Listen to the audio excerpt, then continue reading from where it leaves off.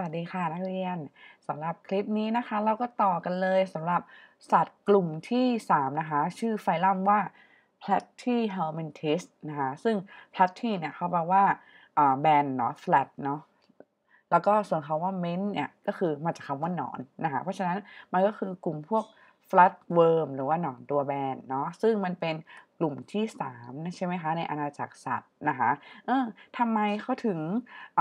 ให้กลุ่มนี้มาอยู่เป็นอาณาจักรที่เอกมาเป็นไฟลัมที่3นะคะในอาณาจักรสัตว์เนาะอ่าเราลองมาดูลักษณะ characteristic ของน้องนะคะว่าเป็นยังไงบ้างอ่าหลังจากที่ถ้าพูดถึง symmetry นะคะสองอันแรกเนี่ย อันแรกคือฟองน้ำเนี่ย ไม่มี symmetry ถูกไหมคะอันที่สองในดาเรียเนี่ยในดาเรียเนี่ยเขาเป็นแบบ radial symmetry เนาะแต่ว่าถ้าเริ่มเป็นกลุ่มที่ 3 หรือว่ากลุ่ม patty helminth หรือว่า flatworm เนี่ยก็คือน้องจะมีสมมาตรแบบครึ่งซีก หรือว่า bilateral symmetry นะคะ ในขณะที่เนื้อเยื่อนะคะฟองน้ำไม่มีเลย ไม่มีสักชั้น ไม่มีการเรียงตัวเป็นชั้นเนื้อเยื่อนะคะแต่ถ้าในดาเรียเนาะกลุ่มในดาเรียกลุ่มที่2เนี่ยเขาจะมีเนื้อเยื่อเรียงตัว 2 ชั้น ectoderm กับ endoderm แล้วตรงกลางเนี่ยเขามีลักษณะเป็นวุ้นที่เรียกว่า mesoglea ใช่ไหมคะ แต่พอมาถึงกลุ่มนี้นะคะ กลุ่มหนอนตัวแบนเนี่ยเขาจะมีเนื้อเยื่อ 3 ชั้นอย่างแท้จริงละนะคะ ก็คือมี ectoderm mesoderm แล้วก็ endoderm เนาะส่วนทางเดินอาหารนะคะ มีทั้งแบบ extra cellular digestion นะคะพอมีการย่อยนอกเซลล์ปุ๊บนะคะ ก็ต้องมาดูว่าท่อทางเดินอาหารนะเป็นแบบไหนนะคะ ก็ยังพบว่าเป็น incomplete digestive tract เหมือนกับไฮดราเนาะที่มีแต่ปากแต่ยังไม่มี anus เพราะฉะนั้นกินทางปากกากอาหารที่เหลือก็ถุยทิ้งออกมาทาง ปากเหมือนเดิมยังไม่มี anus นะคะอ่าพลานาเรียก็เหมือนกันเนาะกลุ่มหนอนตัวแบนนะคะ แล้วก็พบว่ามี intracellular digestion ด้วยเช่นเดียวกัน แปลว่า extra cellular digestion ของเขามันยังไม่เขาเรียกว่าอะไร มันยังไม่เจ๋งพอที่จะย่อยอาหารให้เล็กที่สุดจนเอาไปใช้ในเซลล์ได้ เอาเข้าไปในเซลล์เนี่ยเอาเอาไปย่อยต่ออีก step หนึ่งเนาะในส่วนของอแบบแผนการเจริญเติบโตนะคะก็พบว่าตอนที่ เป็นตัวอ่อนเนี่ยรู blastopore เนี่ยจเจริญไปเป็นปากเนาะเราเรียกว่ากลุ่มสัตว์ที่เป็น protostomiaนะคะลักษณะตัวอ่อนของ larva เอ่อตัวอ่อนหรือว่า larva เนาะเป็นแบบ trochophore larva นะคะก็คือที่มันเหมือนกระดิ่งประกบกัน แล้วก็ตรงกลางมี cilia สามารถว่ายน้ำได้นะ อ่าและกาดอกจันไว้ตรงนี้ค่ะ อันสุดท้ายนะคะลักษณะของน้องเนี่ยก็คือเราจะพบ bilateral ในสัตว์หลายกลุ่ม 3 ชั้นในสัตว์หลายกลุ่มนะคะ incomplete ก็อย่างน้อย2 2กลุ่มถูกไหมคะอ่า protostome หลายกลุ่มนะคะอ่า trochophore larva ก็มีหลายกลุ่ม แต่ว่ากาดอกจันไว้ตรงนี้ค่ะ ถ้าพูดถึงกลุ่มที่อ่าเป็น bilateral มีเนื้อเยื่อสามชั้นเนี่ย กลุ่มที่ไม่มีช่องว่างในลำตัวหรือ non-coelom หรือว่า acoelomate มีแค่กลุ่มนี้ค่ะอ่ากาดอกจันอันนี้เป็นลักษณะเด่นนะคะ ก็คือน้องไม่มีช่องว่างในลำตัว ทีนี้คำว่าช่องว่างในลำตัวนะคะ เคยพูดไปในคลิปที่อธิบายเกี่ยวกับไคทีเรียหรือว่าเกณฑ์ใช่ไหมอ่าไม่มีช่องว่างในลำตัว เช่น พวกหนอนตัวแบนนะคะลักษณะก็คืออ่าเรามาดูนะอ่าที่ครูจิ้มนี่นะเอ็กโตเดิมสีน้ำเงิน มีโซเดิมตรงกลางสีแดง เอนโดเดิมสีเขียวถูกไหมคะเนื้อเยื่อสามชั้น ตรงกลางที่เป็นรูสีขาวข้างในนี่คืออะไร คือช่องว่างที่เอาไว้ใช้ย่อยอาหาร เป็นช่องทางเดินอาหาร ที่บอกว่ามีรูเปิดทางเดียวเนี่ยนะอ่าเป็น digestive cavity เนาะซึ่งอันนี้ไม่ใช่ไม่นับเป็นช่องว่างในลำตัวที่พูดถึงซีลอมตรงนี้ไม่ใช่นะคะเพราะฉะนั้นกลุ่มหนอนตัวแบนก็จะเป็นอะซีลอมเมตคือไม่มีช่องว่างอ่าเทียบกับคนที่มีช่องว่างที่แท้จริงนะคะ กลุ่มที่มีช่องว่างที่แท้จริงเราจะเรียกว่า U เซลเมตเนาะ U แปลว่าแท้จริงนะคะ ช่องว่างที่แท้จริงจะเป็นยังไงเอาอีกทีหนึ่งนะคะ X ตัวเดิมสีน้ำเงิน มีโซเดิมสีแดงเอนโดเดิมสีเขียวเห็นไหมคะอ่าแล้วข้างในก็เป็นสีขาวๆนี่ก็คือเป็นรูช่องว่างทางเดินอาหารเหมือนกันเนาะแต่ดูซีรั่มค่ะคำว่าซีรั่มคือช่องว่างที่เราพูดถึงเนี่ยถ้าเป็นช่องว่างที่แท้จริง มันจะอยู่ในชั้นสีแดงค่ะ ก็อยู่คือพบช่องว่างอยู่ในชั้น มีโซเดิมทั้งหมดเนาะอันนี้คือสัตว์ที่มีช่องว่างที่แท้จริง ช่องว่างเขาจะอยู่ในชั้นมีโซเดิมอ่า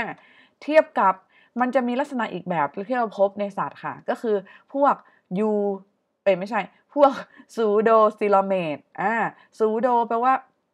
fake แปลว่าเทียมใช่ไหมคะ เช่น pseudopodia pseudopodium เท้าเทียมเงี้ย อืม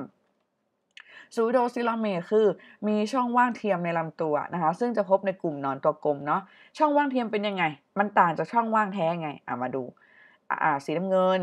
ectoderm สีแดง mesoderm สีสีเขียว endoderm เห็นไหมคะ ตรงกลางคือรู digestive cavity เนาะแต่เนี่ยค่ะ เห็นตรงนี้ไหมคะ บริเวณว่างๆตรงนี้ อันนี้คือ pseudocoelom pseudocoelom เนี่ยมันจะอยู่ตรงระหว่างชั้น mesoderm กับ endoderm ค่ะ แบบนี้เราเรียกว่าเป็นช่องว่างเทียม แต่ถ้าช่องว่างแท้จะอยู่ในชั้น mesoderm ทั้งหมดแบบนี้เนาะอ่าอันนี้ก็คือลักษณะที่เราพบสรุปหนอนตัวแบนกลุ่มเรานะคะ ที่เราพูดถึงตอนนี้เนี่ย flat worm หรือหนอนตัวแบนเนี่ยเป็นแบบ acoelomate คือไม่มีช่องว่างเนาะ อ่าดูนะคะ อันนี้รูปในหนังสือของม.หกนะคะ acoelomate คือเห็นไหม ectoderm mesoderm สีแดง endoderm สีเหลือง แล้วก็ไม่มีละ อันนี้ก็เป็นรูอาหารไปเลย รูช่องทางเดินอาหารไปเลยเนาะอันนี้คือไม่มีโพรงในลำตัว แต่ถ้ามีมีแบบเทียมก็คืออย่างที่บอก ectoderm สีน้ำเงิน mesoderm สีแดงแล้วก็ช่องว่างเทียม แล้วก็ endoderm สีเหลืองใช่ไหมคะแล้วก็มีรูอันนี้เป็นทางเดินอาหารถูกไหมแต่ถ้าเป็นมี eucoelomate หรือว่ามีช่องว่างที่แท้จริงก็จะเป็น ectoderm สีน้ำเงินเอนโดเดิมเอ้ยมีโซเดิมสีแดง แล้วก็มีช่องว่างตรงนี้เห็นไหมคะเอนโดเดิมสีเหลือง แล้วก็รูทางเดินอาหารนี่เนาะอะรูปนี้กับรูปนี้ก็เหมือนกันนั่นแหละแค่เอาให้ดูเฉยอันนี้เป็นรูปในหนังสือม .6 นะคะโอเคเนาะอ่านอกเหนือจากนั้นพอนึกถึงหนอนตัวแบนพระเอกก็มาก็คือพานาเลียถูกไหมคะอ่าเมื่อกี้เราบอกแล้วว่าพานาเลียเนี่ย เป็น incomplete นะครูให้ดูรูปอีกทีนะคะระลึกระลึกระลึกถึงม .5 ตอนที่เราเรียนเรื่องระบบย่อยอาหารของน้องใช่ไหมคะอ่ามีเมาส์ฟาลิงใช่ไหมฟาลิงมันยืดหดได้เนาะบางรูปก็จะเห็นว่าเมาส์อยู่ตรงนี้ บางรูปก็จะเห็นว่าฟาลิงอยู่ตรงนี้นะ it doesn't matter นะคะอ่าทีนี้รูอาหารก็เข้าทางนี้ใช่ไหมคะ เข้าออกทางเดียวเนาะก็เป็น incomplete digestive tract พอเข้าไปปุ๊บนะคะข้างในรูกวงเรียกว่า gastrovascular cavity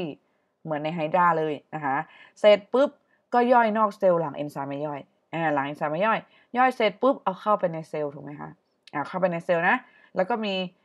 อ่าถุงมาหุ้มเอาไลโซโซมมาปล่อยเอนไซม์แล้วก็ย่อยในเซลล์อีกรอบหนึ่งเห็นไหมคะมีทั้งคู่มีทั้ง extra cellular digestion แล้วก็ intra cellular digestion เนาะสำหรับหนอนตัวแบนนะคะระบบประสาทเรียนมาแล้วอ่านึกนึกนึกระบบประสาทนะคะ ระบบประสาทของพานาเลียปึ้งออกมาเราต้องนึกถึงที่มันมีลักษณะเป็นแบบนี้ค่ะ ladder type ถูกไหมคะ ladder type คืออะไร คือเป็นขั้นบันไดถูกไหม ก็คือมีปมประสาทตรงส่วนหัว มีเส้นประสาทแนวยาว longitudinal nerve cord นะคะ แล้วก็มี transverse มีแนวขวาง อ่าทำให้มันดูเป็นขีดขีดขีดเหมือนขั้นบันไดเหมือนบันไดลิงเนาะ เราเรียกว่า ladder type อ่าซึ่งถ้าเป็นกลุ่มในดาเลียเนี่ยจะไม่มี ถูกไหมคะ กลุ่มในดาเลียเขาจะมีแค่ nerve net เฉยๆ ถูกไหมอ่าพวกไฮดราอะไรเงี้ยเนาะ อ่า อีกอันนึงค่ะเป็นลักษณะเด่นนะคะ ถ้าเราพูดถึงระบบขับถ่ายหรือว่าระบบกำจัดของเสีย nitrogen waste นะคะอ่าพลานาเรียหรือหนอนตัวแบนเนี่ยเขามีอะไรนะคะอ่าเราก็นึกถึงอันนี้นะคะดังมากเลย หลับตานึกถึง nitrogen waste ของพลานาเรียจะต้องนึกถึงคำว่า flame cell อ่าคำว่า flame cell หรือคำว่าprotonephridia เนาะอ่า pro pro แปลว่ามาก่อนใช่ไหมก่อนที่จะเป็น nephridium nephridium มันจะไปพบในไส้เดือนนู่น ถูกไหมแต่อันนี้คือในพลานาเรียเราจะเรียกว่า protonephridium หรือว่า flame cell เนาะซึ่งหน้าตา flame cell เป็นยังไงนะคะไอ้เจ้าอักก่อนอื่นเนี่ยไอ้ที่มันเห็นเป็นท่อๆเนี่ยอันนี้คือท่อขับถ่ายถูกไหมอ่าซึ่งท่อเนี่ยมันเกิดเราเรียกว่า protonephridium เนี่ยนะคะซึ่งไอ้เจ้าท่อพวกนี้มันเกิดจากระบบของหนึ่ง 1 1 flame cell เห็นไหมคะแล้วมาเชื่อมเชื่อมเชื่อมเชื่อมกัน แล้วจะมีรูเปิดนอกลำตัวเนาะอ่าหนึ่ง flame cell ขยายออกมาเป็นอย่างนี้นะคะก็คือมีนิวเคลียสนะคะมี cilia นะคะแล้วก็มีผนังที่มันแบบให้กรองเอาของเสียนะเข้ามาในนี้นะคะเสร็จแล้วก็ส่งมาตามท่อ แล้วท่อก็จะเป็น opening at body surface ก็คือเปิดนอกลำตัว เพราะฉะนั้นถ้าพูดถึงอวัยวะที่กำจัดของเสียนะคะเด่นเลย flame cell นะคะในหนอนตัวแบนเนาะอ่าอันนี้ในหนังสือนะคะ ก็บอกว่ากลุ่ม Platyhelminthes หรือว่า flatworm เนี่ย ก็หูมีเยอะเลยนะเนี่ย29,000สปีชีพบทั้งใน น้ำเค็มและน้ำจืดเนาะที่ชื้นแฉะนะคะอ่าที่โรงเรียนเราก็มีนะคะ ที่พลานาเรียอยู่หน้าตึกยุบในอ่างบัว หน้าตึกยุบนะ ไปเปิดดูใต้ใบบัวนี้มีน้องนะคะน้องน้องพลานาเรียนะคะเนาะก็ถ้าเป็นพลานาเรียเขาจะดำรงชีวิตแบบ free living คือไม่ทำร้ายใครไม่ไปทำให้ใครเดือดร้อน แต่ว่าถ้าเป็นกลุ่มอื่นที่เป็นเพื่อนกับพลานาเรียเนี่ยอ่าถ้าเป็นหนอนตัวแบนในทะเลก็ free living เหมือนกันนะคะเดี๋ยวมีรูปให้ดูเนาะแต่ถ้าเป็น บางกลุ่มก็จะดำรงชีวิตเป็น parasite นะคะ ก็คือพยาธิใบไม้กับพยาธิตัวตืดนะคะอันนี้รูปมันไม่ชัดนะเรามาดูรูปชัดๆแน่เห็นไหมนี่คือพลานาเรีย หรือว่าหนอนตัวแบนในทะเลกลุ่มนี้นะคะ อันนี้เขาแบ่งเป็น3คลาสเนาะเราไม่ต้องจำชื่อก็ได้ แค่ให้ดูรูปนะคะ อันนี้คือกลุ่มพยาธิใบไม้นะคะเราเรียกฟลูกนะคะพยาธิใบไม้เนาะพยาธิใบไม้ตับพยาธิใบไม้ปอดพยาธิใบไม้เลือดนะคะแล้วก็ tapeworm นะคะ tapeworm คือพยาธิตัวตืด นะตืดหมูตืดวัวอะไรพวกนี้หัวมันจะกลมแต่ตัวมันจะแบนมันหลอนมากนะคะมันหลอนมากนะอ่าพานาเลียมันฟรีลิฟวิ่งนะคะน้องน้องอยู่ของน้องเฉยๆคนเดียวนะคะหากินเองได้ไม่เดือดร้อนใครนะคะเห็นไหมอ่าอันนี้หน้าตาน้องใช่ไหมแล้วก็เป็นแบบ bilateral symmetry ใช่ไหมคะอ่า nerve cord เนาะอ่ารูเนาะ incomplete digestive tract นะโอเคนะคะอันนี้คือการสืบพันธุ์ค่ะถูกไหม การสืบพันธุ์ของพาราเลียเนี่ย ถ้าเป็นแบบอะ sexual reproduction คือรูปนี้เลย คือเป็นไงคะ ตัดจึ๊บจึ๊บออกมาไปสามท่อน ตายไหม ไม่ตายนะคะ น้องก็ผ่านไปเจ็ดวันท่อนตรงกลางนี่เริ่มมีตาแล้วมี eye spot ละเห็นไหมเออแสดงว่าน้องเกิดการงอกใหม่นะคะ หรือว่า regeneration เนาะอ่านี่เป็น asexual reproduction ของเขานะคะ นี่ สเกลจริงนะคะก็เล็กๆ แต่ยังมองเห็นด้วยตาเปล่าเนาะถ้าให้เห็นชัดๆก็เนี่ยค่ะ ใช้ stereo microscope ได้นะคะนี่นี่หนอนตัวแบนในทะเลนะคะสีสันก็จะฟรุ้งฟริ้งมุ้งมิงนะคะแบบนี้เนาะตัวนี้นะคะอันนี้ไม่มุ้งมิงละเข้าสู่โหมดพยาธินะคะ อันนี้ก็เป็นพยาธิใบไม้ถูกไหมคะเขาก็จะมี sucker ตรงนี้เอาไว้แปะนะมีสองที่คือตรงนี้กับตรงนี้นะคะเนี่ยตรงนี้กับตรงนี้เอาไว้แปะ ก็จะแบนๆติดกับตัวที่มันเกาะใช่ไหมแบบเนี้ย sucker เนาะเห็นไหมอันนี้ถ่ายด้วยกล้องจุลทรรศน์อิเล็กตรอนเห็นเป็นสามมิตินะฮะแต่ถ้า tapeworm คือพยาธิตัวตืดนะแล้วก็จะพบตืดหมูนะคะโอ้ยตืดวัวใช่ไหมแล้วไข่มันจะอยู่ในกล้ามเนื้อ ถ้าเรากินอาหารแบบปรุงไม่สุกเนาะมันก็จะเข้าไปอยู่ในตัวเรานะคะ ซึ่งเวลามันเข้าไปอยู่ในตัวเรามันร้อนมากค่ะ เพราะมันเลือกที่อยู่ได้แบบว่า มันไปเกาะอยู่ตรงลำไส้เล็กค่ะ ซึ่งลำไส้เล็กของเรามันมีที่ย่อยอาหารอยู่แล้วใช่ไหมเพราะฉะนั้นตัวมันเนี่ยนะไม่จำเป็นต้องมีระบบย่อยอาหารเลยค่ะอ่ามันก็จะมีระบบสืบพันธุ์พร้อมนะคะหลุดไปเป็นหนึ่งป้องคือไปเป็นหนึ่งตัวเนาะแล้วมันก็ดูดอาหารในลำไส้เล็กของเราไปเลย ส่วนหัวเรียกว่าสคอแลกนี่ก็จะประกอบไปด้วยฮุกเอาไว้เกี่ยว แล้วก็มีซักเกอร์รอบด้านเลยแปะตรงไหนก็ดูดได้หมดไงเออ แล้วแบบแต่ละป้อง มันมีเป็นป้องๆถูกไหมแบนๆแล้วเป็นป้องๆอารมณ์ประมาณอะไรเดียวแบนๆหน่อยอะเหมือนกับ ถ้าเป็นทางเหนือก็จะนึกถึงส้มปล่อยแล้วเคยเห็นไหมฝักส้มปล่อยอะที่เราเอามาแช่แล้วออกเหลืองๆไว้ตอนดำน้ำเอ้ยไม่ใช่ดำน้ำโอ้ยดำหัวนะคะเออดำน้ำคืออะไรนะคะเออดำดำหัวตอนวันสงกรานต์อะวันปีใหม่อะใช่ไหมที่มันจะแบบน้ำเหลืองๆเออนั่นน่ะส้มป่อยมันจะไปฝักแบบนั้นใช่ไหมถ้ามันหลุดออกมาหนึ่ง หนึ่งฝักก็คือหลุดออกมาเป็นหนึ่งตัวหลอนมากนะคะแล้วคือสเกลเป็นแบบนี้นะคะ อันนี้คือยาวสุดที่เคยพบแล้วมั้งเนี่ยนะคะ อันนี้รูปในอินเทอร์เน็ตนะคืออันนี้สเกลหนึ่งสิบเซนนะคะโอ้โหหมดนี้ก็คือหนึ่งเมตร ทั้งหมดนี่กี่เมตรแล้วเนี่ยนะคะและหนึ่งปล้องก็หลุดไปเป็นหนึ่งตัวบุ้ยหลอนนะคะก็อย่ากินดิบนะคะ กินดิบเนี่ย เช่นลาบดิบนี่ใช่ไหมอืมลาบดิบถ้าลาบ ถ้าลาบเนื้อก็จะมีไอตัวนี้นะคะ มีโอกาสถ้ามีไข่มันใช่ไหมมันไม่สุก แต่ถ้าลาบหมูเป็นไงคะ ลาบหมูนอกจากจะมีตืดหมูแล้วยังมีอะไรด้วย